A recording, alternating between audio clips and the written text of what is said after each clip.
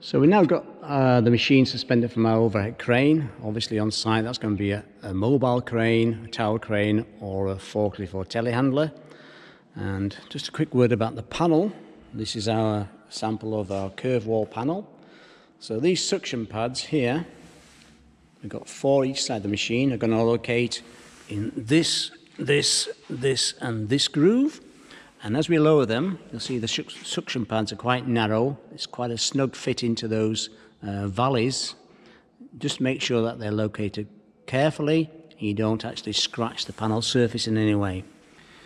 So the machine here, um, first thing we do is rotate the pads so we can actually drop it onto the panel. Uh, this pivot bar along, along underneath the machine can actually rotate and there's a rotation lock here. So take the weight in the bar, lift the rotation lock, and the machine will rotate back round.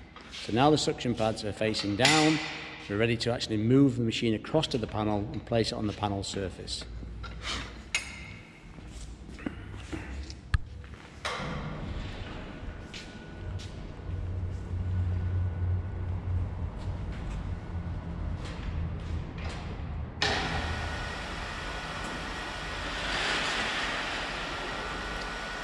So, as I mentioned earlier, just take some care how you position these suction pads into those valleys, making sure you don't catch the shoulders of the curves.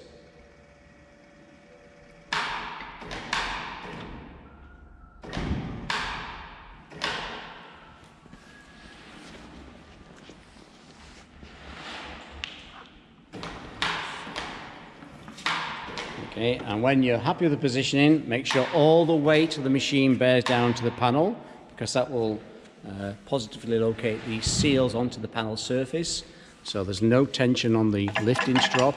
The machine's bearing down through the, through the eight pads onto the panel surface.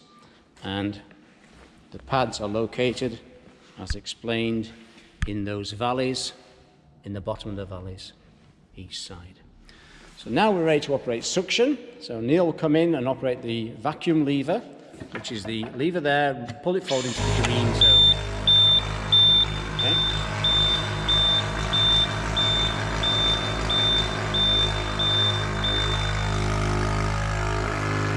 So we'll do that again in a minute. I'll just let the machine go through what it's, need, what it's doing and we'll explain what's happening there.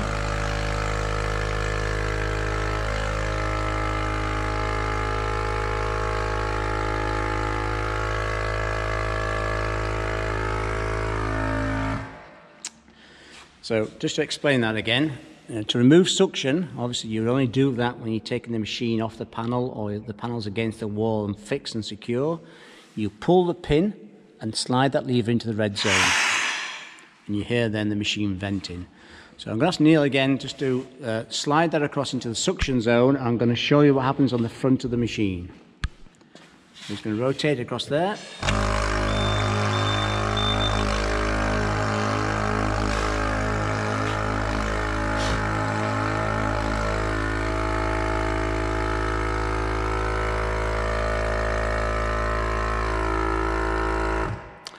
Again, you saw as soon as Neil operated the lever, the vacuum gauge rose quickly through the red zone. And while it's doing that, the red light was on and the acoustic warner was on.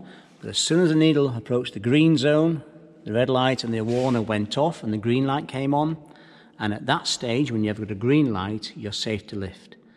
The vacuum pumps continued operating for maybe 10 seconds or so after that point, and those vacuum pumps will operate at any time. So when you're lifting this panel, you'll get a natural vacuum loss and the vacuum pumps will kick in to compensate for that loss. So you don't have to wait for the vacuum pumps to switch off. You just need to wait for the green light and the red light to go off, the sounder to go off and the green light to come on. At that point, you're safe to lift. And you've got full working load at that point. The full working load is indicated by the sum of the suction pads you've got here. So each of those suction pads is rated at 40 kilos and you've got eight of those, so you've got a safe working load of 320 kilos at the point at which the green light comes on. And that's allowing for a double safety factor as well. So we're going to do suction once more because I want to show you what happens to the suction pads. So I'm going to release suction and I'm going to ask Neil to operate it.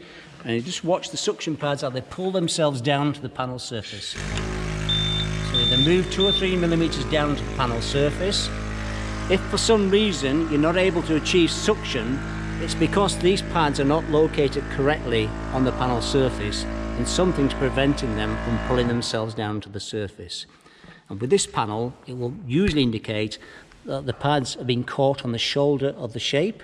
So just pay attention to the positioning of all eight pads when you're trying to achieve suction.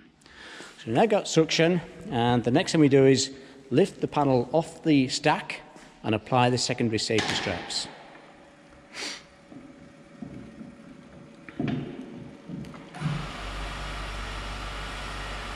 So you normally lift it uh, 8 or 12 inches from the stack, uh, loop the safety straps around.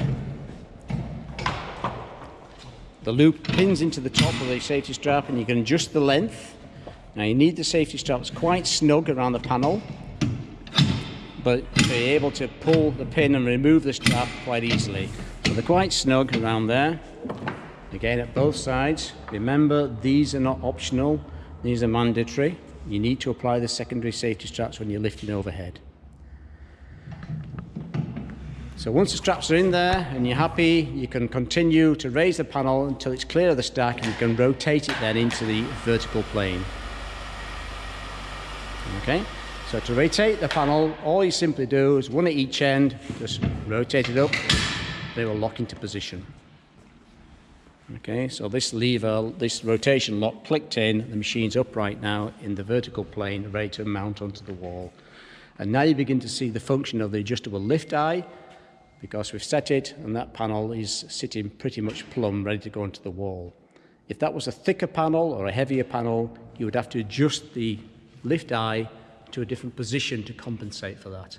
But that's a matter of uh, trial and error on the first lift, and once it's adjusted, everything should be fine from there on. So this machine now is under vacuum, the panel's suspended safely, um, it's pretty sitting pretty vacuum tight, but as I mentioned earlier, it is possible that you'll get a vacuum leak and the vacuum pumps will kick in at any point during the lift. Don't be alarmed by that, the machine's doing exactly what it's meant to do.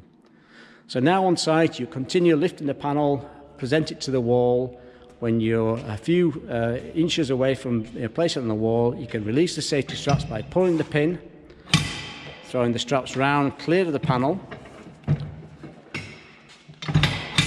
Continue those last few inches, position the panel where you want it on the wall, then secure the panel before you release suction. Make sure the panel is secure against the wall, and then release suction simply by pulling this pin and rotating the lever into the red position. As soon as you do that, it will release the panel. Suction will be lost and the panel will be released. So don't do that until the panel is secure. And then the process is repeated, back down for the next panel and continue.